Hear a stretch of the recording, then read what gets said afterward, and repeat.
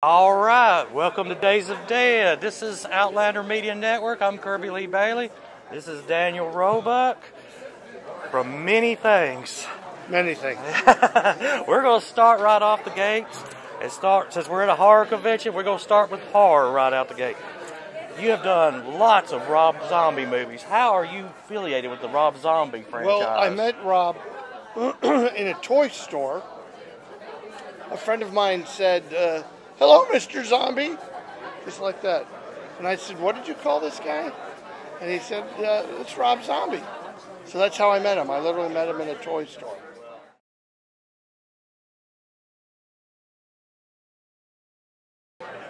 Um, once you meet Rob and you know, look, I'm just, we're talking about how I met Rob Zombie. Okay. You know, you meet Rob once. He, he and I are very similar in that we're uh, almost the same age. We love the same kind of stuff. And uh, I think, you know, he knew me as an actor, and I knew him as a rock star, and it turned out that we had a lot in common. Okay. Why don't we talk about another movie? Let's talk about The Fugitive. Great movie, wonderful. How lucky to be in it. I was between the first two years of Matlock, and I went in for the audition. I couldn't. It could have been any five people in that movie. That I got to be one of the people uh, was such a gift from Andy Davis. I can't even comprehend it. I love the movie. I love working with Tommy Lee Jones. I loved hanging out with Harrison Ford. Uh, all of it, 100% of it, was perfect. You just mentioned the word Matlock. That is one of my favorites. Oh. Let's talk Matlock. Well, Matlock again, great. So Matlock, you know, I went on Matlock to do one episode to be a guest star, and I ended up a series regular because I had such a great moment of time with Andy Griffith. I had just done No Time for Sergeants, which is a show you know that made him famous, oh. and he was when when I finally got Hello, Mr. Griffith out, and I said I just did No Time for Sergeants, and he said, which part? And I said Will Will Stockdale. He did Will Stockdale. You know that's a hard part. That's the role I played, and it made me famous. And this man just did it. So that was kind of my introduction to Andy. And uh, from that moment on, he worked to get me onto the show. Did y'all really do that show here in Atlanta? No, none of it. We did the whole show. The first season was at uh, MGM. The second season was second, third, fourth seasons. Fifth season was at Universal. Sixth, seventh, eighth, or seventh, eighth, ninth was in North Carolina. So we did a lot of seasons in the middle at Universal, one season at MGM, and the rest in Wilmington. I mean, you were a very interesting private investigator. What was Yeah. one of your favorite episodes? Well, I like the one where Arlene Galanka falls in love with me. I think that's kind of silly. Uh, I love them all. I what the only thing, if I look back, I think, remember how weak they made Cliff? Like I'm on a decathlon, and the 85 year old guy was finishing before me because uh, Leo, Leo Penn, the director, was like 85, and I was like, Leo, come, come on now. I mean, I know I'm goofy. I'm playing a goofy guy, but I'm not. You know, I mean, I can finish a decathlon. I was like 30 years old, worked out. I ran every day four miles before work. I could have run that fast. I stupid 80 year old. Hey, I tell you, we, I was sitting there wandering around these tables over here, and I saw a movie over there that you're associated with. Oh, which one? Stream? Stream. Yeah, yeah. I'm going to be in Stream. That's coming out this year. Uh, many of the same uh, people from Terrifier, the hit Terrifier 2, are involved in that movie, and I'm proud to be in it. They're all friends.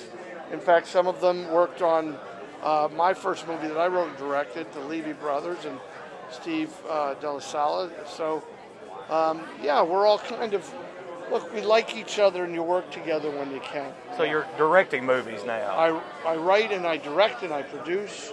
Uh, we've got a movie coming out this year called uh, Lucky Louie that I wrote and directed with my daughter, of all things.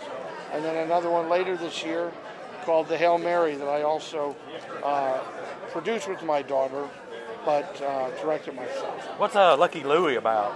Uh, lucky, lucky oh. But hold, hold, we, we can go. We can stay. These are my friends. They love River's Edge. We we can we can pause a second, maybe. You can come in. and- All right. Uh, hopefully, I'll say something interesting. Ask, ask a question about River's Edge. That's my friend's favorite movie. Uh, what was your experience with Dennis Hopper? Go ahead. Ask me that question.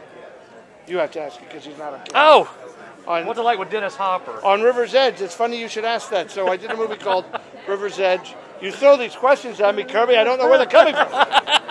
Uh, so I, like Dennis Hopper was like Gandalf. Imagine you're some dumb 22 year old hick actor, and then they're like, and here's Dennis Hopper.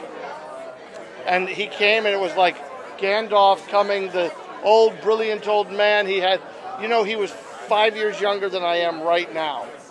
He was only 54 when we shot when we shot River's Edge. How old were you? I was 23, but I'm 59 now. I'm just saying he was a he wasn't old. I wasn't old when I was 54. I'm certainly not old now. No, we're not old at all because we're all in our fifties here. Ooh, we're young bucks. Yeah, okay. I've got to let me get my composure back. Oh, for God's sake, Kirby. We were talking about Lucky Louie. Yeah, Lucky Louie, written and directed with my daughter Grace Roebuck, and then the next one will be the Hail Mary, uh, which we did to a not-for-profit. If people want to look it up, it's called A Channel of Peace.org. A Channel of Peace.org. We make faith-based movies through a not-for-profit. Awesome. It's like giving back. It's it's like giving back is absolutely true. First, it's like giving because the movies start with a big donation from me. So it's not even giving back; it's giving everything. and then, uh, and the, but but I, I like of all. Look, I'm in anybody's movie. I'm in any kind of movie. I'm in Star Wars. I'm in all this stuff. But if it's a movie that's originated from my heart, it's going to be a movie that tells a story about redemption, fatherhood, uh, doing better, using a higher power, stories that interest me. But I'll direct any movie and be in any movie. But if I'm making them, they're my kind of movie. I mean, I, I know that I'm going to be a little prejudiced because every time I see you in a movie, I say, well, "There's Cliff," There's Cliff. And I'm always going to do that every time. Well, thank you for your time, Kirby, thank you for your I time. Appreciate it. what a nice time to be on Outlander, uh, Outlander Radio. Outlander Media Network. Outlander Media. Hey, this is Daniel Roebuck, and you're listening to Outlander Media Network. Follow Daniel on Twitter, Facebook. Uh, you can just stand outside my house and I'll call the police. uh, but I am Mr. Daniel Roebuck on uh, Twitter, on Facebook, and on uh, Instagram. And it, there's a blue check mark, so you know it's really me. okay. All right. And thank you again, y'all. Peace out from Kirby Lee Bailey.